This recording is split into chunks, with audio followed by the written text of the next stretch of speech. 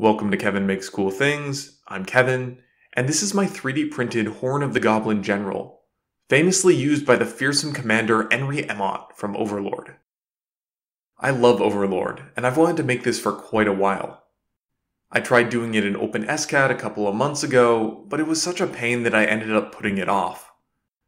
Recently, I've tried learning Blender, and I decided to revisit the project. Before doing this project, my only background with Blender was watching the 3D Printing Professor's Blender series, which taught me enough about the software to get started. Initially, I spent around 4 hours on this over the course of a weekend. I restarted a bunch of times and learned a lot. Eventually, I got this result, which I couldn't get to be manifold, not even using Repetier host to repair it, but it was surprisingly good given that I'd never used the software before. After finishing this model, I moved over to my second Blender project, which was making Rakasa's Fang from the solo leveling manhwa. That was a much more complicated model, and I learned a bunch on it so I decided to circle back and see if I could do an even better job on this. My revised version only took about 40 minutes to make.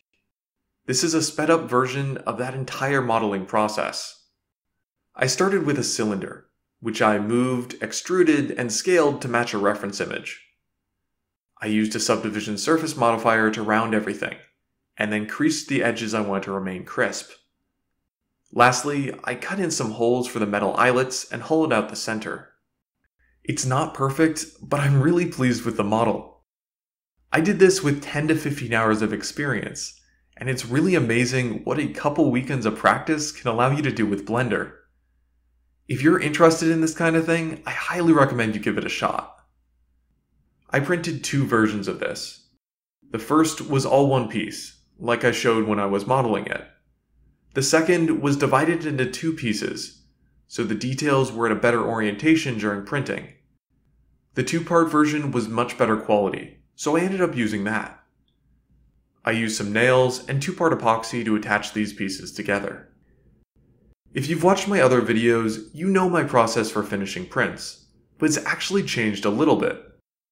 I couldn't really make a mess in the place I was living before, but now I've moved, so I have access to a lot more tools and materials. I sanded everything, both by hand and with a Dremel tool. Then I applied some wood filler and did some more hand sanding. I drilled out the holes for the eyelets, bent some wire into shape, and then epoxied everything in place.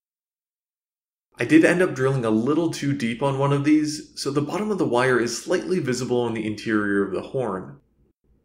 Instead of priming my print by repeatedly painting it with white acrylic paint, I tried using a spray-on sandable primer, which worked pretty well. For painting, I actually bought an airbrush to try to upgrade my painting setup. I'm glad I tried it, but it wasn't too successful in this project. I botched the colors on my first attempt, so I ended up washing off the first coat of paint and trying again. My second attempt went better, but I still ran into issues when I tried to add a second color.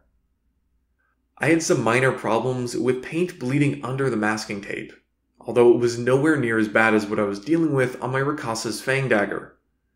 Unfortunately, since I mixed up an off-white for the horn, I couldn't easily go back and touch up the paint without mixing an entirely new color and repainting everything. My first plan was just to be really careful and I did a decent job when I was adding gold to the edge of the ribbon and to the seals. I messed up when I was painting the leather ties, and there was no way around repainting this. I ended up using an off-white acrylic paint that I already had.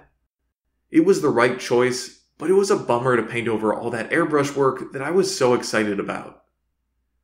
The only airbrush part left was the red ribbon, Quite honestly, I could have gotten a slightly better result if I painted over it with normal acrylic paint, but I wanted to leave it so that at least some part of this was still airbrushed. For the mouthpiece, I mixed some of my metallic gold paint with a little bit of black to get a duller, darker metallic color.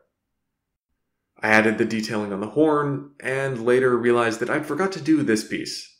So I went back and did that in another coat, which inevitably messed up some other stuff, so I had to go back and touch up everything. Instead of painting on some Mod Podge to give it a nice clear coat, I went with a spray on matte finish. This worked pretty well, although I did manage to mess it up.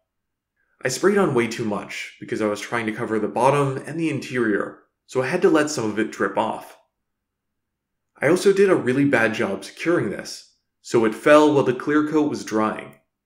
It grabbed some of the gray primer color when it landed, which was a bummer, although it's not super visible. The strap is probably the part of the project I like the least. I wanted to get some pleather strap from the local Michaels, but they didn't have anything, and the ones on Amazon all had terrible reviews. I ended up getting an actual leather strip, but it doesn't sit like I wanted to, and it's just not quite right. It's not the main focus of the project, but it's still really annoying that this detail is wrong. Overall, I think this is one of the best projects I've ever done. The strap bugs me more than it probably should, but the model and the finishing look better than most of my other work. There's definitely some things to improve on, but I'm really happy with the direction it's going. I'll post a link to the STLs for this in the video description. If you enjoyed the video, please give it a like so YouTube will recommend this to more people. If you want to see more of my projects, or you just want to support the channel, I hope you'll subscribe.